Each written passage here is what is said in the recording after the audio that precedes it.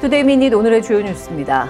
오는 11월 초부터 미국에 입국하는 외국인은 코로나19 백신 접종을 완료하고 검사에서도 음성 판정을 받아야 합니다.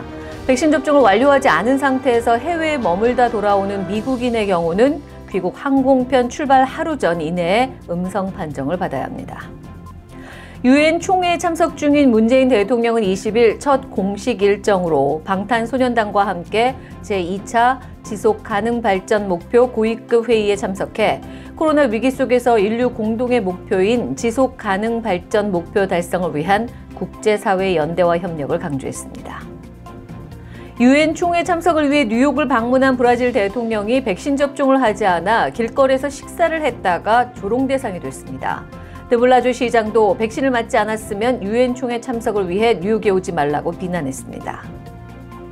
제76차 유엔 총회가 열리고 있는 맨하탄 유엔 본부 주변 도로 곳곳이 통제돼 극심한 교통 혼잡과 불편이 예상됩니다.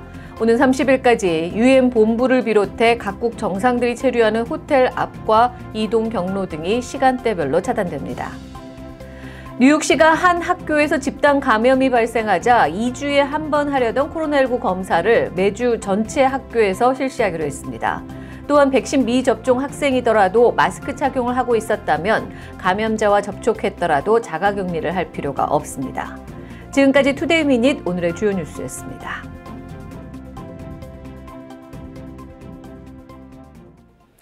Today Minute 오늘의 뉴스 시작하겠습니다. 미국이 이제 해외에서 입국하는 외국인에 대한 좀 규제를 강화했습니다. 어, 원래는 이제 국가별로 뭐 아예 입국이 금지된 국가들이 있었고 뭐 일부 규제를 풀어주는 그런 국가들은 코로나 바이러스 검사 음성 결과를 반드시 지참을 해야 된다. 요 정도 규제였거든요. 그런데 이거를 전체 다 풀어버리고요. 이제 없애고 이제 모든 외국인에 대해서 코로나 바이러스 백신 접종 완료하고 또 그 PCR 검사 음성 확인서를 다 두 개 다 가지고 타야지만 항공편을 미국에 입국이 가능하도록 조치를 바꿨습니다. 그래서 지금 여행 제한 규정이 새롭게 이제 발표가 되는데요. 미국행 비행기를 타는 외국 국적자, 그러니까 미국 시민권자가 아닌 모든 사람이 여기에 해당이 됩니다. 그래서 외국 국적자는 코로나19 백신 접종을 의무적으로 완료해야 합니다. 그리고 이제 출발 3일 이내에 실시한 검사에서 음성 판정을 받아야 합니다. 이 두 가지 조건을 갖춰야지만 미국 입국이 가능한 거예요. 지금 한국 같은 경우는 입국 제한이 금지된 나라는 아니었죠. 그렇지만 코로나 바이러스 음성 확인서를 들고는 타야 됐어요. 근데 유럽 같은 경우는 완전히 지금 그 입국 자체가 제한됐었거든요. 유럽에서는 미국 들어오기 어렵습니다. 그런데 이걸 다 푸는 거죠. 그러면 이제 미국인의 경우는 어떤가? 시민권자. 시민권자가 이제 뭐 해외를 방문할 경우가 있을 거 아니에요? 그러다가 이제 다시 미국을 돌아오는 경우, 이제 미국인의 경우는 그 만약에 백신 접종을 완료하지 않은 사람이 다시 들어올 때는 그냥 항공편 출발 하루 전에 음성 판정을 받아야 합니다. 그리고 도착 후에도 하루 이내 검사를 받아야 하는데 제 생각에 도착 후 하루 이내 검사는 이거는 어떤 강제성은 없을 거예요. 뭐 검사할 방법이 없잖아요.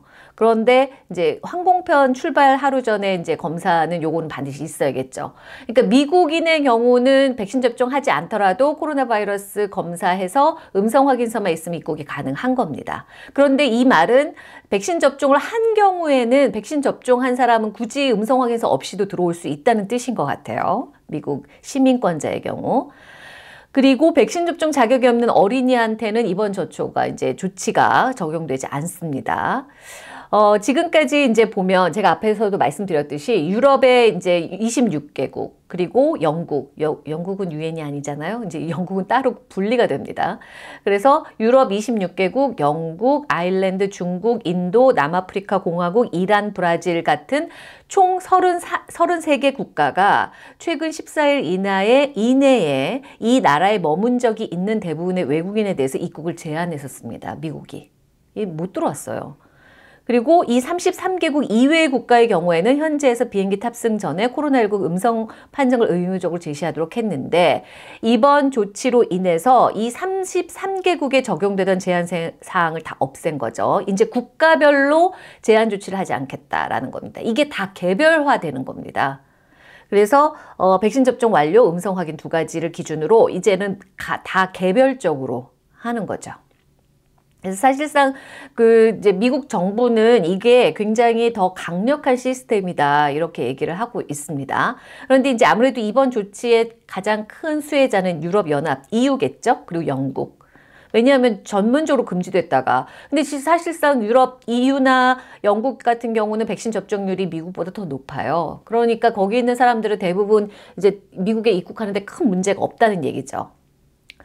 근데 이제 이게 유럽 국가들에 대해서 입국을 제한하는 조치를 그동안 취해 왔었는데 개별 백신 접종자를 대상으로 이제 이게 풀겠다는 거니까 이제 그들 유럽 국가들이 당연히 환영할 수밖에 없겠죠. 그러니까 가장 큰 수혜자가 되고 미국이 유럽을 제한국에 포함시키자 유럽이 지난 6월에 그러니까 반대 그러니까 미국도 미국이 유럽을 이제 제한했잖아요. 근데 사실 지난 6월에는 그 미국의 미국인들의 유럽 입국을 풀어줬단 말이에요. 개방을 했다가 이 미국이 계속해서 유럽 국가들의 제한 조치를 하니까 유럽도 지난달에 뭐 격리라든가 검사 요건을 면제해주는 대상에서 미국을 다시 제외했어요. 그러니까 미국인들도 유럽 갈 때 격리를 하거나 검사 요건 검사를 해야 되는 그런 조건이 붙었던 거죠. 그래서 좀 사실상 이렇게 유럽하고 이 미국 사이에 좀 팽팽한 긴장감들이 있었어요. 그런데 이제 이번에 이렇게 미국이 좀 풀어준 거죠. 어떻게 보면. 거기다가 유엔 총회 이제 그 21일, 21일에 이제 바이든 대통령이 연설하거든요. 취임 후 첫 연설이죠. 유엔에서. 그래서 이제 유엔 그 연설을 앞두고 이게 전격적으로 발표된 거, 이 여러 가지로 이제 다 엮여져 있는 겁니다. 우선은 좀 미, 유럽 국가들 달래기에 나선 거다 이런 평가가 있습니다. 왜냐하면 지금 아프간 철군 과정에서 미국이 단독적으로 단독으로 그런 결정을 하고 철수를 하는 바람에 유럽 국가들이 굉장히 급하게 이렇게 철수를 해야 되는 그런 거. 그래서 굉장히 유럽 국가들의 욕을 많이 먹었죠, 사실은 미국이. 그래서 아프가니스탄 철군 과정에서 이제 그런 뭐 일들로 인해서 좀 유럽 국가를 달래는 그런 것도 있고 그다음에 최근엔 또 미국, 영국, 호주가 이제 그 오커스라는 새 동맹 관계를 이제 맺으면서 그 호주와 그러니까 미국과 호주가 잠수함 계약을 새로 해줘요. 그래서 핵잠수함 기술을 갖다가 같이 공유하겠다. 그러자 이제 프랑스가 난리가 난 거죠. 왜냐하면 그게 원래 프랑스의 핵 잠수함 기술이 호주로 가기로 했는데 그 프랑스 계약을 딱 끊고 이제 미국에 이 프랑스가 지금 엄청 화가 나 있는 상황입니다.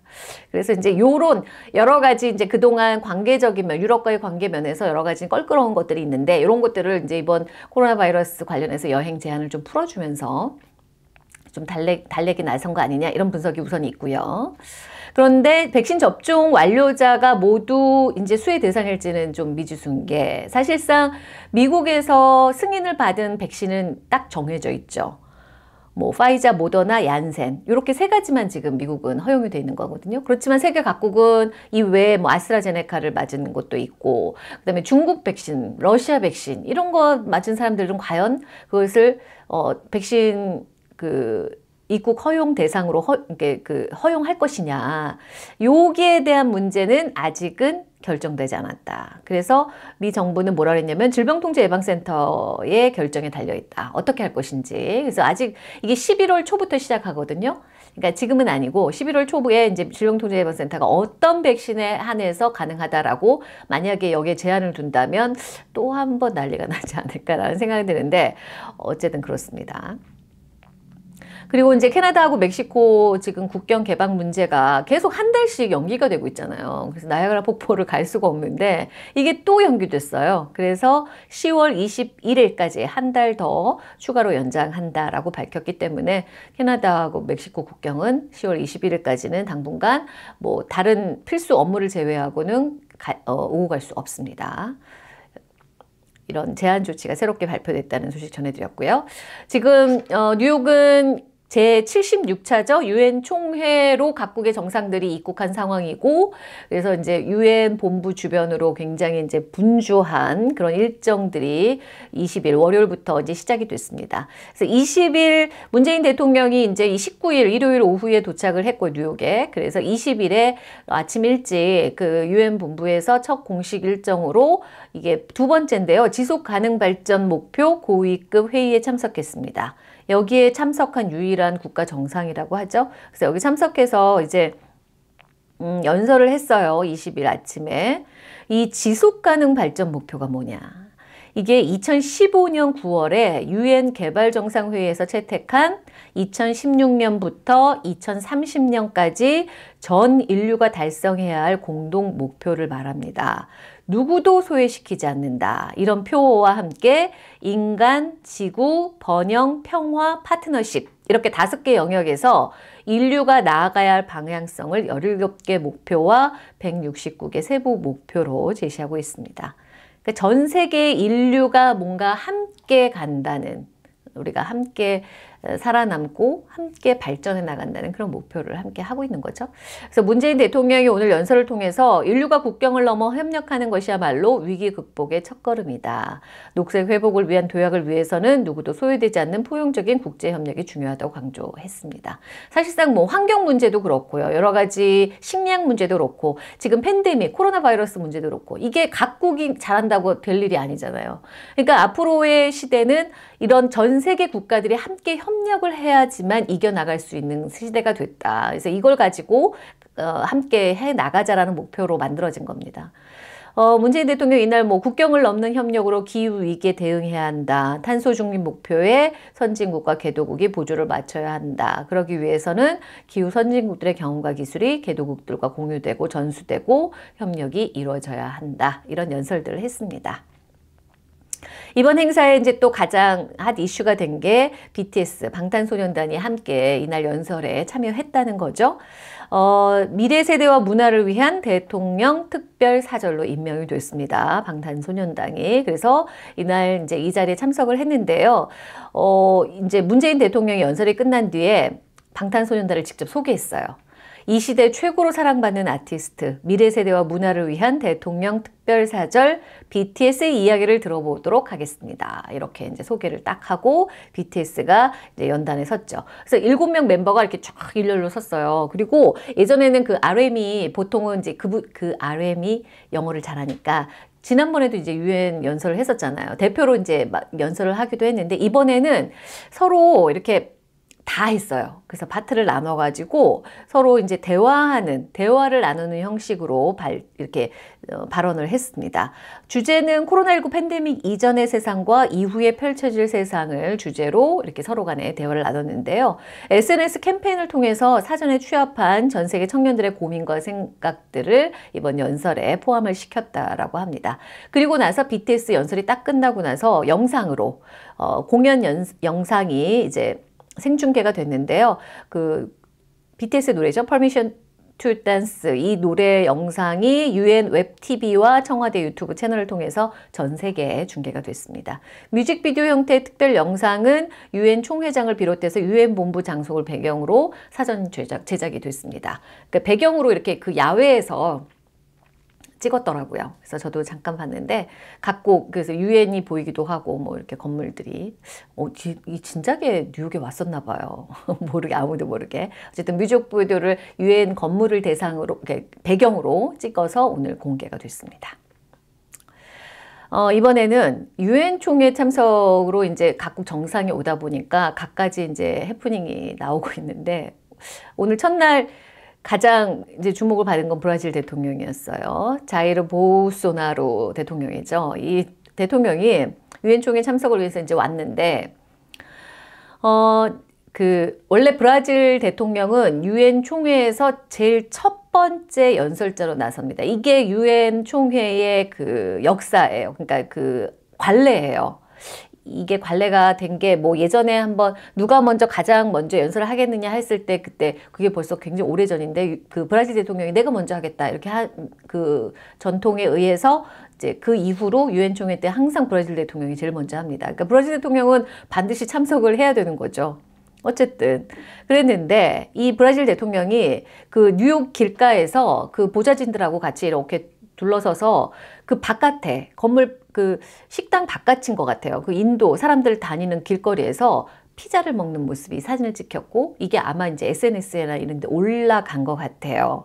그런데 이렇게 왜 바깥에서 피자를 먹었느냐? 지금 뉴욕시가 그 식당 그 실내 입장을 하려면 백신 접종 증명서를 제출해야 되거든요. 그런데 브라질 대통령은 백신 접종을 하지 않았습니다.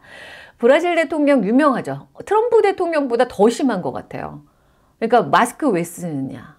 뭐 그리고 가짜 뉴스를 막 대통령이 나서서 막 퍼뜨리고 마스크도 안 쓰고 코로나 바이러스 본인이 걸렸었거든요, 심지어. 그런데도 마스크도 안 쓰고 백신 접종도 안 하고 그러고 있는데 당연히 그 수행원들이라고 백신 접종 했겠습니까? 그리고 단 한 명만 안 해도 백신 접종 증명서 안 제출 안 해도 실내 입장이 안 돼요. 다들 바깥에서 먹어야 되는 거예요. 그래서 이제 바깥에서 그렇게 쭉 서가지고 피자를 먹더라고요. 그래서 이제 브라질 사람들이 이 사진이 공개되자 이제 인스타그램에 국가 이미지를 실추시키는 사상 최악의 대통령이다 이런 비판하는 글들이 올라오곤 했습니다. 사실 이번 유엔 총회에 참석하는 각국 정상들, 뭐 관계자들 정말 수많은 사람들이 참석을 하잖아요. 이제 뉴욕에 오는데 그래서 이제 이 사람들 다 대상으로 백신 접종 의무화 시행을 하려다가 이제 이게 중간에 철회가 됐죠. 그래서 이제 그게 의무 사항이 아니게 됐는데 결국은 이 브라질 대통령 이 문제도 불거지고 하니까 드블라주 시장이 이제 20일에 코로나 바이러스 관련한 브리핑을 하다가 브라질 대통령에 대해서 백신 안 맞은 사람은 올해 유엔 총회 오지 말라 이렇게 아주 공개적으로 얘기를 했습니다. 그래서 어 이제 드블라지 시장도 여기에 대해서 좀 불만을 나타낸 거고. 근데 사실 지금 어, 뉴욕시가 이제 백신 접종 의무화 시행을 하고 있는 게 식당 같은데, 그 다음에 뭐 공연장, 아니면 피트니스 센터, 이런 곳들이잖아요. 그러니까 유엔 총회 안에 가, 들어갈 때 이게 그게 해당 사항이냐 아니냐 요의 논란이 좀 있었던 것 같아요. 근데 사실상 포함은 안 되죠. 그 안에서 뭔가 식사를 하지 않는 한은. 그래서 이제 빠진 것 같고 사실 뭐 브라질 대통령 뭐 자신이 이미 코로나 바이러스에 감염된 적이 있고 그래서 나는 항체를 갖고 있는데 내가 왜 백신을 맞아? 이렇게 주장하는 사람이죠. 그렇기 때문에 어, 뉴욕 시내 길거리에서 피자를 먹는 모습이 조롱거리가 됐다라는 소식 전해드렸습니다. 작년에는 이 유엔 총회가 온라인으로 진행돼서 한 해 조금 수월하게 지나갔는데 해마다 9월이면요. 진짜 유엔 총회가 열리는데 그 유엔 본부 주변 도로들은 다 차단이 됩니다. 그러니까 도로가 밀리는 게 아니라 못 가요. 그 주변은 아예. 올해도 마찬가지로 역시나 맨하탄 도로 곳곳이 통제돼서 그러니까 차들이 다 다른 데로 돌아가야 되잖아요. 특히 그 주변에 그게 있죠. 퀸즈와 이 맨하탄을 연결하는 그 터널이 있잖아요. 그러니까 그게 원래도 밀리는데 그 주변을 더 밀리는 겁니다. 그리고 FDR Drive가 그게 그 유엔 그 본부가 이 그 East River 그 FDR Drive 근처에 있기 때문에 사실상 FDR Drive를 이렇게 들어가는 exit도 다 차단이 되고 굉장히 불편합니다. 그래서 뉴욕 시경이 우선 이 30일까지 이제 이게 그 general debate에서 이제 그 대통령들이 기조연설을 하는 마지막 날이거든요. 그래서 30일까지 유엔 본부를 비롯해서 각국 정상들이 체류하는 호텔 앞과 이동 경로 등을 매 시간대별로 차단을 한다 이렇게 밝혔습니다. 그래서 지금 통제되는 구간이요. 1 Avenue하고 2 Avenue 사이 30가부터 50가까지입니다. 얼마나 그러니까 넓은 구간인지 아시겠죠. 그리고 FDR Drive 42가 진입로 출구 모두 제한되고요.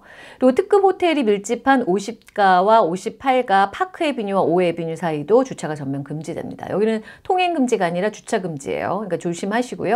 요거는 뉴욕시 웹사이트에 가서 만약에 맨하튼 방문하실 계획 있으신 분들은 미리 체크하시고 그렇게 이동을 하시는 게 좋을 것 같습니다. 그래서 지금 뉴욕 시경은 웬만하면 요 기간에는 9월 30일까지는 그냥 대중교통 이용하거나 자전거나 카풀 같은 좀 교통수단을 좀 대체해서 그렇게 이용을 해달라라는 당부를 했습니다.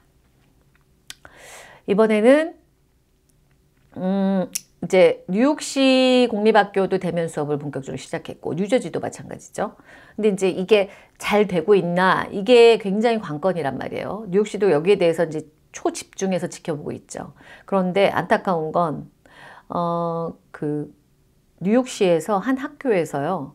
이게 이스트 할렘에 있는 학교인데 PS79 학교에서 무려 24건의 확진자가 발생을 한 겁니다. 그래서 그 확진자와 같이 있었던 학생들 250명이 다 집으로 원격 수업으로 돌아, 돌아간 거예요. 사실 원격 수업 전환 안 하겠다. 그리고 이걸 되게 완화했거든요. 그랬는데 이제 이렇게 집단으로 한 학교에서 발생이 된 거예요. 그러자 이제 교사 노조 측이 이렇게 학교 한 곳에서 이렇게 집단적으로 발생을 했기 때문에 이게 다른 학교로까지 이제 감염이 전염이 될 가능성도 있고 위험하다. 그러니까 이거를 코로나 바이러스 검사를 사실상 이번 가을 학기가 시작되면서 어 이게 원래 지난 작년에는 매주 한 번씩 랜덤으로 무작위로 학생들과 교사들을 이렇게 해서 코로나 검사를 했단 말이에요. 근데 이걸 2주에 한 번으로 바꿨어요. 그래서 이거 안 된다. 매주 해야 된다라고 교사 노조 측이 이제 요구를 해서 드블라주 시장이 20일 월요일에 오케이. 그러면 매주로 바꾸겠다라고 발표를 했습니다. 그래서 오늘 27일 월요일부터는 매주 한 번씩 랜덤으로 무작위로 학생과 교사들을 이렇게 수집해서 어, 대상으로 어, 코로나 바이러스 검사를 실시하겠다라고 했어요. 그러니까 사실은 조금 이게 좀 완화시켜서 어떻게든 대면 수업 쪽으로 가려고 하지만 이게 조금 더 타이트할 필요는 있는 거죠. 그래서 이제 그렇게 바꾸겠다 하는 거 한 가지 변경했고요. 또 한 가지는 이제 만약에 학생들은 백신 접종이 그 의무사항이 아니잖아요. 그렇기 때문에 백신 접종 안 한 학생들이 있는데 그 예전에는 어느 한 교실이나 여기서 감, 감염자가 나오면 학교 전체가 폐쇄됐었거든요. 근데 이게 완화가 된 게 올해는 어 그 학 교 그 교실만 폐쇄가 돼요. 그런데 그 안에서 이제 감염자가 나왔는데 그 안에 백신 미접종자 학생이 있었어요. 그러면 그 학생의 경우에는 마스크 착용을 하고 있었고 백신 접종을 안 했지만 그 다음에 3피트 거리도 유지했고 그러면 그 학생은 자가격리 할 필요 없다. 이렇게 밝혔습니다. 그래서 백신 접종을 하지 않았더라도 그래서 조금 변경된 거 두 가지를 발표했어요. 이것도 같이 이제 시행이 27일부터 시행이 될 것 같습니다. 그래서 뉴욕시에서 이렇게 조금씩 좀 나오고 있는 것 같아요. 그래서 지금 이게 7학년에서 12학년, 이 학교 7, 7학년, 12학년에서 총 250명이 지금 자가격리로 28일까지 집에 머물면서 원격 수업을 듣게 된 거고요. 원래 여기서 24건 정도가 발견됐는데 이 중에 19건이 그 개학 전에 교사 오리엔테이션 행사에서 시작이 된 거예요. 그러니까 교사를 통해서 아이들에게 전염된 사례인 거죠. 교사들도 물론 지난번에도 한번 말씀드렸지만 백신 접종이 의무 사항인데도 교사 그 돌파 감염이 계속해서 나오고 있습니다. 그리고 이날 드블라주 시장이 발표한 것 중에 하나가 뉴욕시 방과후 프로그램 다시 재개한다 이렇게 얘기했어요. 그래서 전체는 아니고 뉴욕시 1080개 학교에서 총 15만여 명 학생을 대상으로 방과후 프로그램 시행에 들어간다라고 밝혔습니다. 뉴저지 학교들은 어떨 것 같으세요? 뉴저지도 역시나 아, 그 감염자들이 나오고 있습니다. 우선은 지금 머서 카운티 로빈스빌 학군에서 발생이 됐는데요. 이게 학생 수의 한 7%의 학생, 해당하는 220명 이상의 학생이 코로나 양성 판정을 받았습니다. 이건 학군 전체죠. 한 학교에서가 그런 게 아니라 학군 전체에서 220명 이상의 학생이 코로나 양성 판정을 받은 거예요. 이제 계약한 지 한 달도 안 됐는데. 상당하죠. 그리고 해당 학군 고등학교에서는 이미 30건 이상의 양성 사례가 나오면서 임시 대면 수업 체제로 전환이 되고 학교 전체가 그렇게 된 거죠. 그러니까 뉴저지도 이게 심각해요. 그러니까 우선 대면 수업을 시작을 했는데 이게 집단적으로 한 학교에서 나오다 보니까 이게 지금 굉장히 위험한 상황이 아닌가라는 생각이 들고 특히나 뉴저지 같은 경우에는 학교에서 감염 사례가 발생해도 이거를 뉴저지 정부에다가 보고하는 게 의무 사항이 아니래요. 그래서 지금 아직 정확하게 그 숫자가 파악이 안 되고 있습니다. 사실상 어, 굉장히 많은 학생들의 감염 수가 나왔는데도 실질적으로는 뉴저지 정부가 뉴저지주 정부가 파악하지 못하고 있는 경우도 있는 거죠. 이럴 때 굉장히 위험할 수 있는데 생각보다 뉴욕 뉴저지 지역이 이제 대면 수업을 하면서 백신 뭐 의무 접종도 하고 마스크 의무 착용하고 뭐 다 하지만 굉장히 감염자가 지금 나오고 있다. 초기인데도 이게 아마 지금 이 학교 시작 초기인데 앞으로 갈수록 더 많이 나올 것 같고 이게 좀 걱정이 되는 우려되는 부분이기는 합니다. 투데미닛 오늘의 뉴스는 여기서 마무리하겠습니다. 구독, 좋아요, 알림 설정 부탁드립니다. 감사합니다.